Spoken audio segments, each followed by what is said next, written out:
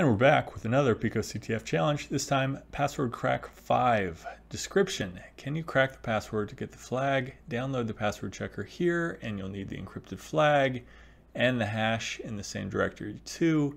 Here's a dictionary with all possible passwords based on the conventions we've seen so far. So I'll go ahead, I'll download all of these. And we can see back here in VS Code, we have this code appearing, different files that we've already downloaded. If you haven't watched Password Crack 3, I would highly recommend it as we walk through uh, really the structure that's going to solve all these problems and uh, just explain everything much more slowly. Here, I'm going to just quickly touch on the changes.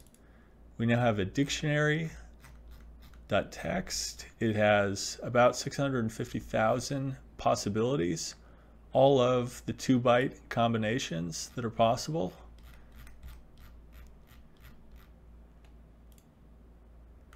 And we can see where again, we're prompting for user input here. Then we hash the user's input. We check if it's the correct hash. And if it is, we get our flag. The only difference between this and the last problem is we're not given a list in the code. Instead, we're going to have to create our own at this point. We'll do so by opening this dictionary.txt. So we'll say with open to open the file. I need the full path to dictionary.txt, which I'll get with print working directory down here. You can see this is in my download directory. Lowercase d dictionary.txt. We'll open this as dictionary. And then what we want to do is we want to read each line of the dictionary. So we'll say dictionary dot read lines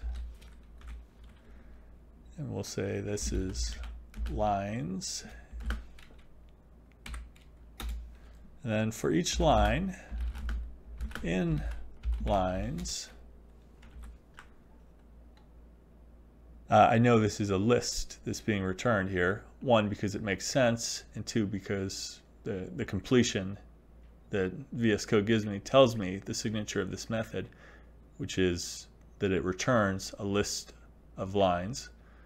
So we're going to loop over those lines, and for each line, We will run it through the password checker.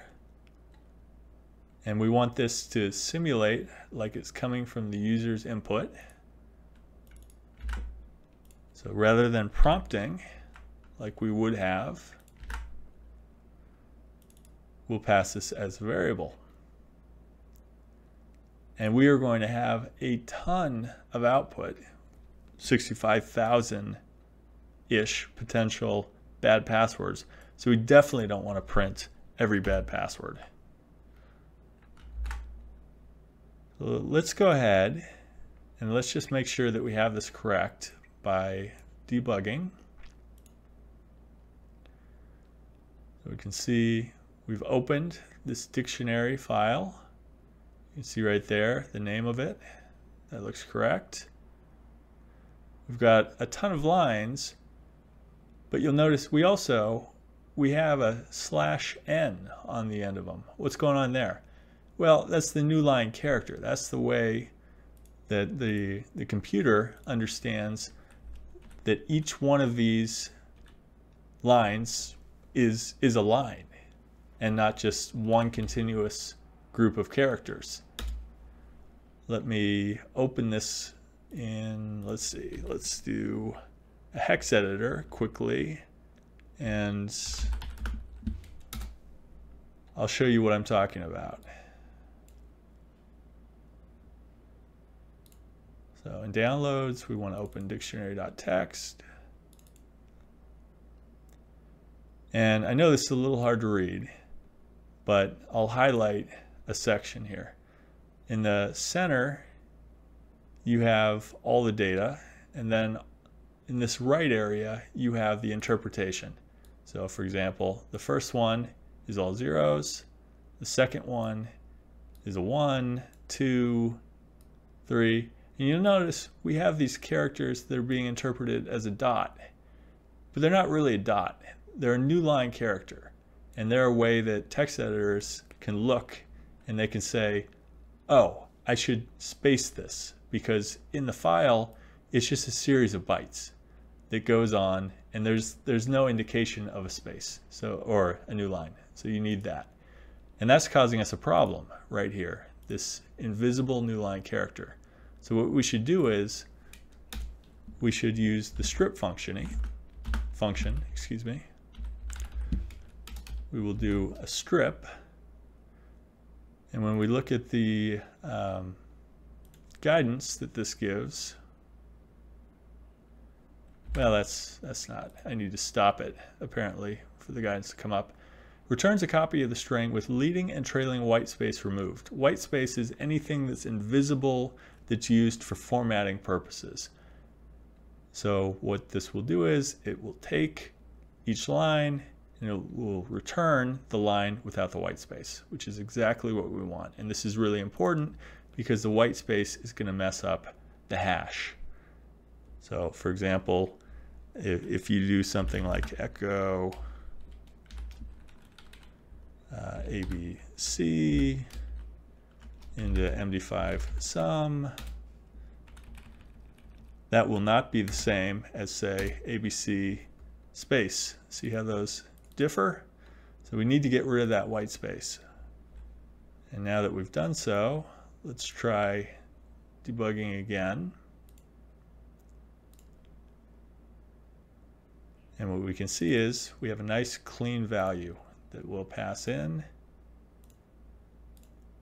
We try the hash, doesn't work for that value, but that's okay. Let's let this run.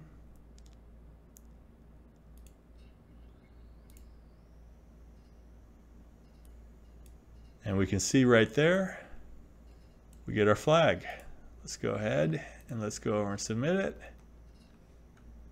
I also want to just quickly show you how annoying this would have been if we hadn't removed this line. If we continued to print, this is the wrong password for each password we tried, you'd get thousands of lines of that. That's terrible. So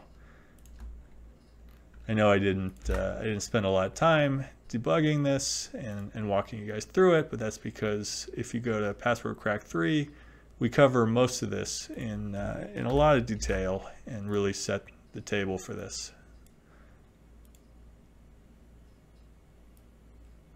I lost my copied value, so I have to copy it again. Let's go back and submit.